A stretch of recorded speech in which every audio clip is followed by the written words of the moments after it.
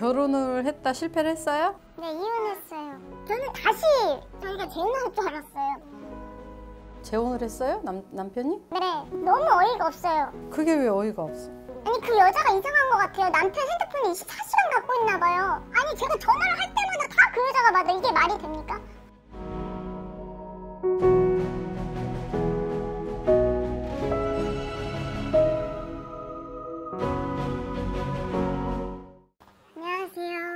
어서 와요.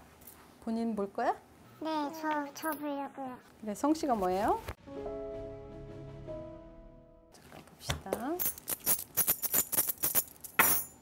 결혼을 했다 실패를 했어요? 이혼한 거면 실패한 건가요? 그렇게 표현해야지. 네, 이혼했어요. 계속해서 이제 왕래는 하고 지냈던 거로 보여. 그지? 네, 맞아요. 지금 그런 것 같아요. 뭔지 모르게 아무리 아기들이 있어도 연결고리가 완전히 끊어지는 분들도 많거든.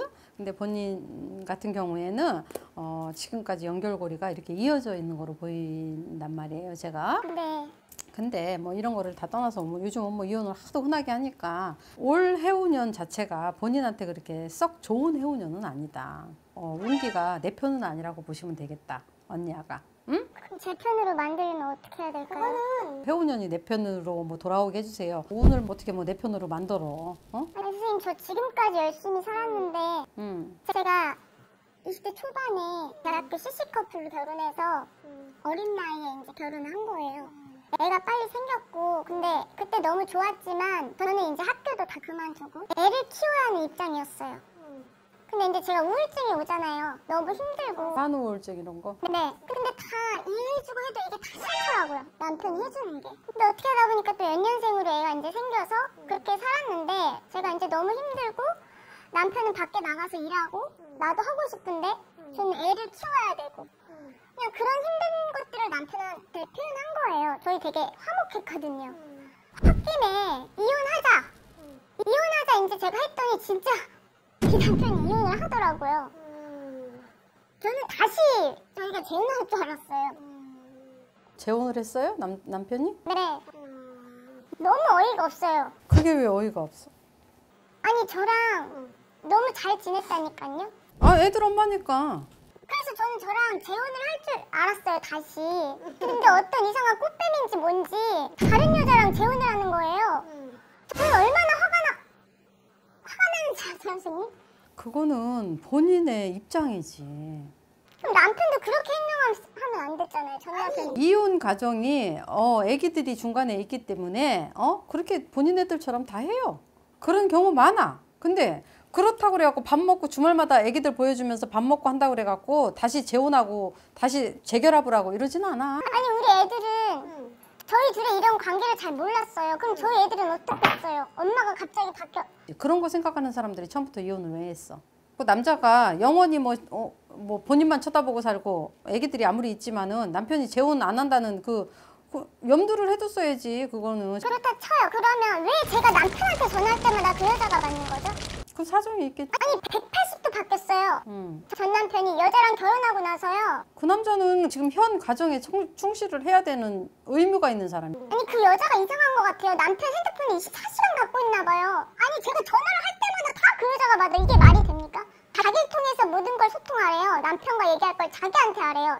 제 자식들까지도 자기한테 얘기를 하래요. 왜 제가 제 자식 이야기를 왜 그 여자한테 해야 되죠? 저 남편과 재혼한 어, 그 와이프 같은 경우에는 일단은 본인이 애기들도 지금 아침에 눈을 떠서 함께 24시간을 케어를 하고 어, 그 여, 여성분이 지금 현재 하고 있는 거잖아. 본인은 일주일에 한 번밖에 안 보잖아. 그냥 일주일에 한 번 만나가지고 히히덕거리고 애기들 뭐 케어하고 그 잠시 잠깐 만나가지고 이러는 거를 어? 굉장히 막 크게 어, 비중을 둬가지고 내세우고 이제 와가지고 남편이 어, 내 생활을 찾아가지고 다른 여자를 만나서 재혼을 하니까 그게 꼴 보기 싫고 아니 그걸 어떻게 할 것 같고 막 이런 거예요? 주시면 안 돼요? 이건 법적으로 제가 그렇게 하고 싶어서 그런 게 아니에요. 남편이 키워야 된다잖아요. 그럼 저는 어떻게 해요? 본인이 원하는 거는 지금 애들만 원해? 남편으로 원하잖아 네가 아니 선생님이 저희의 관계를 못 보셨잖아요. 결혼하기 전에. 고 이런 걸 다 떠나서 나는 거기에 관심도 없고 남의 집 뭐 사생활에 관심이 없어 남편이 그래 금전적인 부분에서 지원을 해줄 테니까 네가 한번 양육해봐라 했을 때 돈만 주고 남자 남편이 안 와 받아들일 수 있어 없어? 아니 그래요 저 남편도 원해요 그러니까 네가 지금 이 가정을 깨려고 하는 거잖아. 애들 자꾸 핑계를 대가면서. 아, 솔직히 언제 이혼하는지가 궁금해요 야 이혼 안 해. 인제 지짝을 만났다 얘. 아니에요 선생님 제가 무슨 아니라고요 지랄한다 지랄해 아주 가지. 저 그래 솔직히 이혼 언제 하는지가 궁금해서 왔어요 이혼 안해 천류는 끊을 수가 없지만 애기들도 내가 봤을 때는 여기서 융화를 지금 서서히 해가고 있어. 아니 근데 제가 제 새끼들을 그럼 이렇게 그냥 보라는 게 처음부터 이혼을 하지 말았어야지. 그리고 영원히 애기들을 못 보게 하는 것도 아니잖아. 그냥 다 싫은 거 아니야 그 여자가. 내가 아닌 그 여자가 지금 그 테두리 안에 있다는 자체가 용납이 안 되는 거 아니야. 어, 어떻게 용납하겠어요 선생님 어차피 버스는 떠나갔다고. 그리고 이, 지금 이런 상황에서 지금 내가 봤을 때 절대 이혼 없어. 이 남자는 처음에 당신하고 살 때도 가정을 지키기 위해서 무던히 노력했던 거로 보여 나는. 본인이 그래 나이 어리고 우울증 있었고 뭐 산후 우울증도 이해해. 본인이 어, 내복 내가 찬 거잖아. 그리고 지금 이렇게 어? 사주팔자를 보니까 어디 가서 물어보는 봤을 거 아니야. 본인 같은 경우에는 이렇게 일찍 시집을 가면 일부 종사를 못해.